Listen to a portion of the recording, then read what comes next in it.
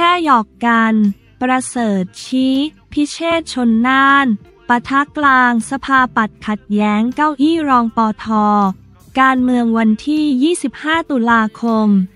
2567 10นาฬิกา 44 นาที แค่กระเซาเย่าแย่ ประเสริฐชี้ พิเชษชนน่านปะทะกลาง สภาไม่เกี่ยวขัดแย้งเก้าอี้ รองประธาน โยนถามวิบสอสอพอทอเสียงแตกคว่ำข้อสังเกตรายงานนิรโทษ เมื่อเวลา 9 นาฬิกา 5 นาที วันที่ 25 ตุลาคม 2567ที่ทำเนียบรัฐบาล นายประเสริฐจันทรรวงทอง รองนายกรัฐมนตรี และรัฐมนตรีว่าการกระทรวงดิจิทัล เพื่อเศรษฐกิจและสังคม ในฐานะแกนนำพักเพื่อไทย พอทกล่าวกรณีเกิดการโต้แย้งระหว่างนายพิเชษเชื้อเมืองพาน รองประธานสภาผู้แทนราษฎรคนที่หนึ่ง และนายแพทย์ ชนน่านสีแก้ว สอสอน่าน พักเพื่อไทยในการลงมติรับรายงานของคณะกรรมาธิการ กมท พิจารณาศึกษาแนวทางการตราพระราชบัญญัติ พรบ นิรโทษกรรม ถึงขั้นมีการชี้หน้ากันกลางที่ประชุมสภา เดือด สภาคว่ำข้อสังเกตรายงานนิรโทษพิเชษปะทะชนน่านท้า อยากเป็นก็ให้ขึ้นมา ชนน่าน แจงโวยชี้หน้า พิเชษเห็นมืนไป ไม่ถูกพอช่วยกลับโต้เถียงนายประเสริฐกล่าวว่า ทั้งสองคนเป็นเพื่อนกันมานาน อยู่ในพักเพื่อไทยกันมานานทั้งคู่ เชื่อว่าในใจทั้งสองคนไม่น่ามีอะไร ซึ่งในที่ประชุมสภาความเห็น ระหว่างประธาน และสมาชิกเป็นเรื่องธรรมดา และอาจมีการกระเซาเย้าแย่กันบ้าง เมื่อถามว่าเหตุการณ์ที่เกิดขึ้นเป็นผลติดค้างมาจากกรณีที่นายแพทย์ชนน่าน เคยมีรายชื่อจะได้นั่งในตำแหน่งรองประธานสภา หรือไม่ นายประเสริฐกล่าวว่าไม่น่าใช่ประเด็นนั้น และย้ำว่าน่าจะเป็นการพูดกันด้วยความสนิทสนม ส่วนตัวทำให้กล้าพูดแบบนั้น แต่อาจจะหยอกกันแรงไปหน่อยเมื่อถามย้ำว่า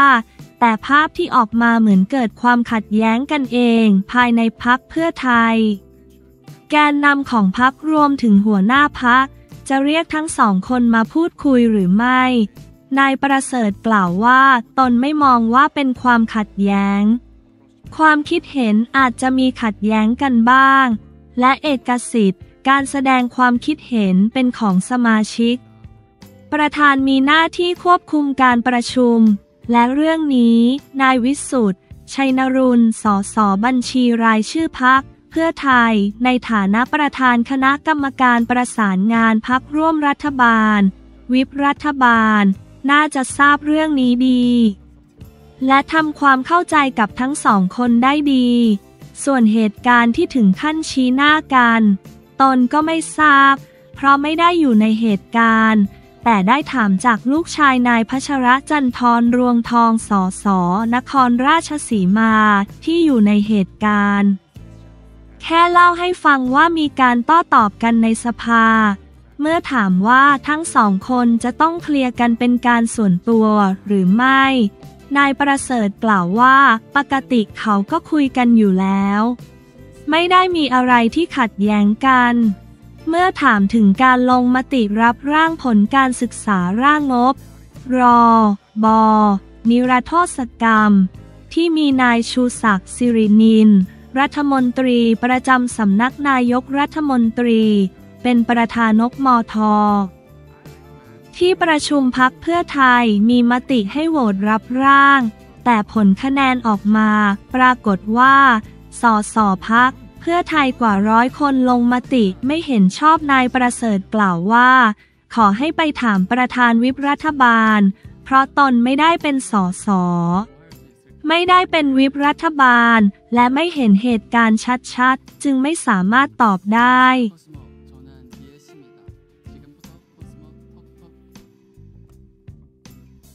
ณวัฒน์ตอบแล้วจะปลดหรือไม่มิสแกรนด์เมียนมาไหม หลังมีดราม่า ND กระชากมงกุฎหน้าเวทีเขวี้ยงทิ้ง บันเทิงวันที่ 26 ตุลาคม 2567 1นาฬิกา56 นาทีณวัฒน์ตอบแล้วจะปลดหรือไม่มิสแกรนด์เมียนมาไหม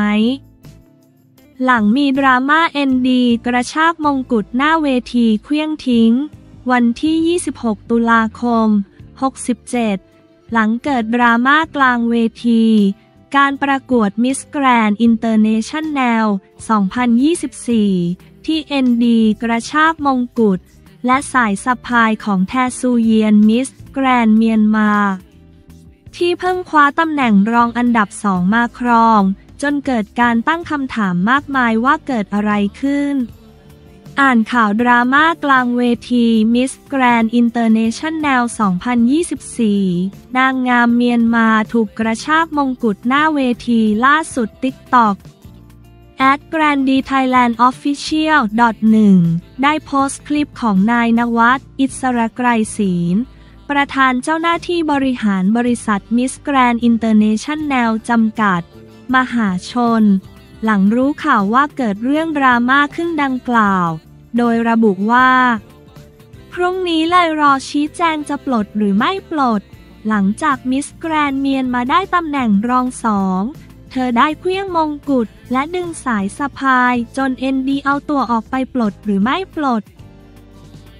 ซึ่งในคลิปนายนวัดกล่าวว่า เดี๋ยวจะปลดหรือไม่ ปลดผมขออนุญาตชี้แจงพรุ่งนี้นะครับ มีคนถามว่ารู้ยังเขาเคลี้ยงมง นายนวัดตอบว่าทราบแล้วครับ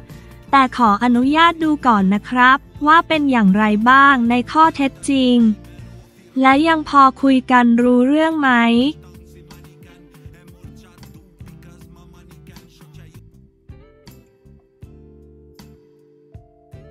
อยู่ในดีปอชอปอจี้รัฐบาลพิสูจน์ความจริงใจ เปิดอกคุยญาติ เหยื่อตากใบ ทวงคืนยุติธรรม การเมืองวันที่ 25 ตุลาคม 2567 12นาฬิกา57 นาทีอยู่ในดีปอชอปชี้แค่เยียวยาญาติ เหยื่อตากใบไม่ได้พิสูจน์ความจริงใจของรัฐบาล จี้แสดงความจริงใจ เปิดอกคุยผู้เกี่ยวข้องห่วงกระทบกระบวนการสันติภาพวันที่ 25 ตุลาคม 2567 ที่รัฐสภา มีการประชุมสภาผู้แทนราษฎร มีนายวันมูฮัมหมัด นอมัทา ประธานสภาเป็นประธานการประชุมพิจารณายติด่วน เรื่องขอให้สภาพิจารณาผลกระทบกรณีการขาดอายุความของคดีตากใบ และข้อเสนอแนะต่อรัฐบาล และหน่วยงานที่เกี่ยวข้องในการฟื้นฟูความชอบธรรมของรัฐ และการแก้ไขปัญหาความไม่สงบในจังหวัดชายแดนภาคใต้ ของนายรอมดอน ปัญจอสอสอบัญชีรายชื่อพักประชาชน และยัตติด่วนวาจา ของนายกมลศักดิ์ลีวามะสอสอนราธิวาส พักประชาชาติเรื่องขอให้สภาร่วมกันพิจารณาหา ทางออกกับสถานการณ์ในพื้นที่จังหวัดชายแดน ภาคใต้กรณีการสลายการชุมนุมเหตุการณ์ตากใบ ที่จะขาดอายุความในเที่ยงคืนวันนี้ 25 ตุลาคม เวลา 12 นาฬิกา 5 นาที นายยูไนดีวาบาสอสอปัตตานี พักประชาธิปัตย์อภิปรายว่าการเยียวยาไม่ได้ทำให้พี่น้องในเหตุการณ์ตาใบรู้สึกว่าได้รับความยุติธรรม แต่เป็นส่วนหนึ่งที่รัฐได้ช่วยเหลือในเบื้องต้น แต่การเข้าสู่กระบวนการเพื่อพิสูจน์ความจริง รู้สึกถึงความยุติธรรมและความจริงใจของรัฐ ดังนั้นอย่าทำให้ประชาชนรู้สึกว่าเป็นฝ่ายผิดที่ได้มีการยื่นฟ้องร้อง ตนไม่อยากให้กรณีตากใบ เป็นเงื่อนไขในการสร้างความรุนแรงเกิดขึ้น ตนเป็นห่วงที่สุด อาจจะกระทบต่อการพูดคุยกระบวนการสันติภาพอย่างแน่นอน ผมขอเสนอให้ทางรัฐได้มีแนวทางแก้ปัญหาให้ชัดเจนในระยะเร่งด่วน คืนนี้คดีหมด อายุความทางรัฐบาลจะดำเนินการอย่างไรบ้าง เพื่อให้เกิดความยุติธรรมแก่ประชาชน ขอชื่นชมที่นายกรัฐมนตรี ออกมาขอโทษประชาชน แต่เราอยากเห็นว่า รัฐบาลจะดำเนินการอย่างไรต่อไป เพื่อให้ผ่อนคลายให้ญาติพี่น้องรู้สึกรับรู้ถึงความจริงใจที่รัฐมีต่อประชาชน ดังนั้นรัฐบาลต้องเปิดอกคุยกันกับผู้ที่เกี่ยวข้องทั้งหมด สิ่งสำคัญที่สุด ขอทวงคืนศักดิ์ศรีของกระบวนการยุติธรรมของไทย นายยูไนดีกล่าว สภาถกยัตติด่วนคดีตากใบ รอมฎอน ชา อย่าใช้ความเงียบหนีปัญหาห่วงไฟใต้ระอุอีกทวี ยันรัฐบาลไม่เคยช่วยจำเลยคดีตากใบ สสปชนลั่นวัฒนธรรม ลอยนวลพ้นผิดต้องยุติ